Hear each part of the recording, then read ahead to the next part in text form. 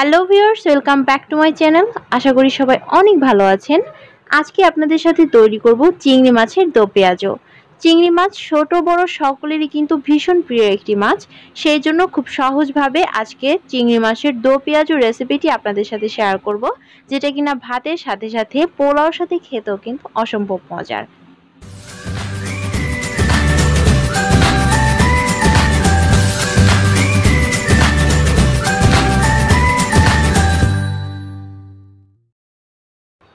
মাছটাকে প্রথমে ভালোভাবে ধুয়ে পরিষ্কার করে নিয়েছি।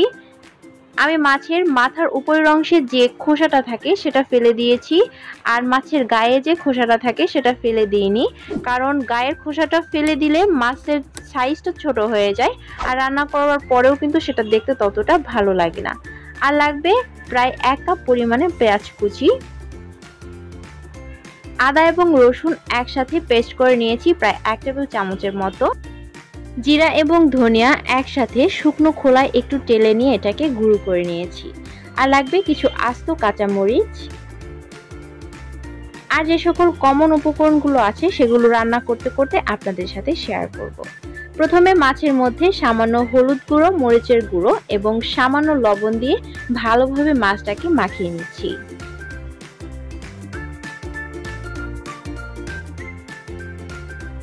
এবার একটা প্যানে বেশি পরিমাণে তেল দিয়ে দিয়েছি যাতে এই একই তেলে মাছটা ভাজাও হয় এবং সেই সাথে পুরো রান্নাটা কমপ্লিট হয় এবার মাছগুলোকে গরম তেলে একটু উল্টিয়ে পাল্টিয়ে করে নিয়ে নামিয়ে নিতে হবে। কারণ চিংড়ি মাছ খুব বেশি ভাজার প্রয়োজন হয় না, কারণ অতিরিক্ত চিংড়ি মাছ ভাজলে সেটা কিন্তু শক্ত হয়ে যায়। আমি ঠিক এক মিনিটের মতো চিংড়িগুলোকে তেলের মধ্যে নাড়াচাড়া করে নামিয়ে নেব।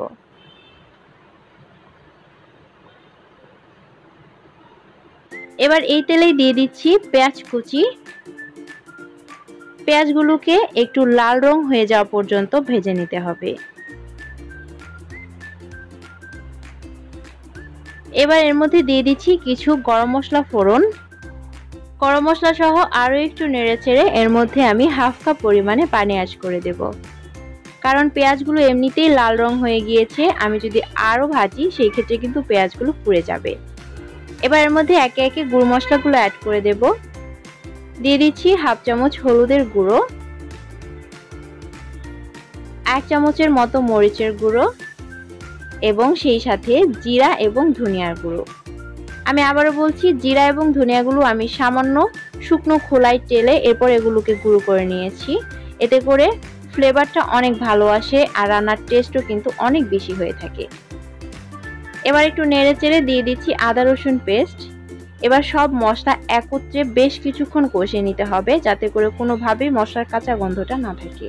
আর মশলা কষানোটা কীভাবে বুঝবেন সেটা আমি আমার আগের ভিডিওগুলোতে বলেছি। যখন মশলা থেকে তেলটা সেপারেট হয়ে যাবে তখন বুঝতে হবে মশলাগুলো খুব সুন্দরভাবে কষানো হয়ে গিয়েছে। এবার আমি অ্যাড করে দিচ্ছি স্বাদ মতো লবণ। এবার দিচ্ছি আরও হাফ কাপের মতো পানি। আমি রান্নাতে মোট এক কাপ পরিমাণে পানি ব্যবহার করছি। কারণ যেহেতু এটা ভুনা ভুনা হবে, যার জন্য বেশি পানি দেবার কোনো প্রয়োজন নেই। আর ঝাল মশলার ব্যাপারটা এটা আপনাদের টেস্ট অনুযায়ী আপনারা ব্যবহার করবেন। এবার আমি ভেজে রাখা চিংড়ি মাছগুলো দিয়ে আরও একটু নেড়ে চেড়ে ঠিক এক থেকে দুই মিনিটের জন্য ঢেকে দিয়ে দেব। তাহলে চিংড়ি মাছগুলো সুন্দরভাবে সেদ্ধ হয়ে যাবে এবং সুন্দর একটা ফ্লেভার চলে আসবে।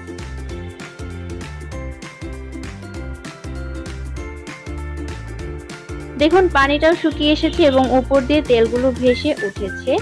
আর এই ফাঁকে আমি কিছু কাঁচামরিচও দিয়ে দিয়েছি। এতে করে কাঁচামরিচের সুন্দর একটা ছড়াবে, তবে খুব বেশি ঝাল হবে না। এবার আরও এক থেকে দুই মিনিটের মতো চুলার আঁচটা একদম কমিয়ে দিয়ে চুলায় রেখে দিলেই তৈরি হয়ে যাবে অসম্ভব মজার চিংড়ি মাছের টোপে আজও। বৌমনি রান্নাঘরের এরকম আরও সহজ এবং সুন্দর সুন্দর রেসিপি দেখবার জন্য সকলের আমন্ত্রণ রইল। আর আজকের রেসিপিটি ভালো লাগলে অবশ্যই আমার চ্যানেলটি সাবস্ক্রাইব করে রাখুন। সকলকে অসংখ্য অসংখ্য ধন্যবাদ এতক্ষণ ধরে আমার ভিডিওটি দেখবার জন্য।